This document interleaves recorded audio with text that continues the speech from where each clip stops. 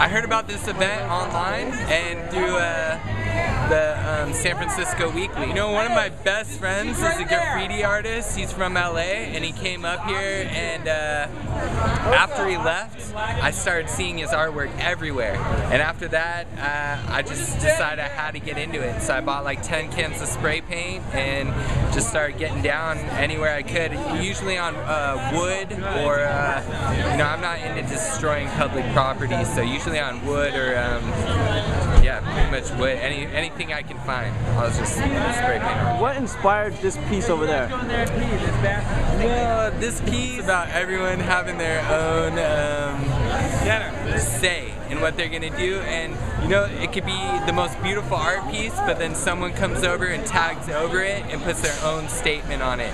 So you just have a collage of the masses here hanging out in San Francisco, which is a, a city of people who are all different, and that's just beautiful. So that's what it is.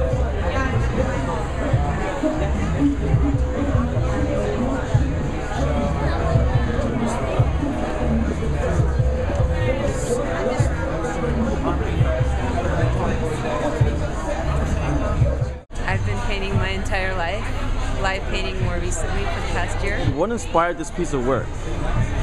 This scene right here, this Fillmore scene, art walk, people having a good time, just trying to capture the moment. So far, the art walk at the Fillmore, I think, I think it challenges the traditional art scene, and I think it brings it more to an urban lifestyle, which I think is really great.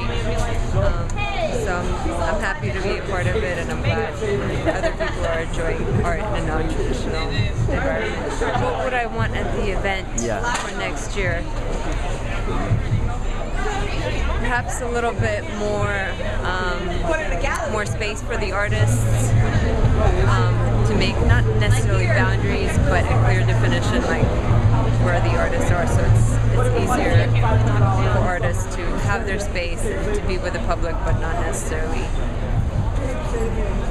not necessarily have the in your art space. It would be great to do a couple collaborations and you know more cooperative pieces. I think it was planned out a little bit more. Just know which artists you're going to be working with, or you know plan out. This is going to be 10 people or more going to do it, join in.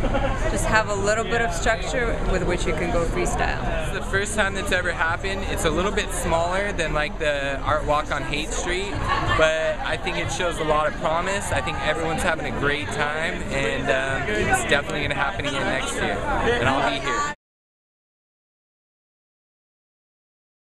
I think it's just uh, all about everyone Like Toast. having their own time. TOFG. having their Sorry, I can't move. having their I have to stay still.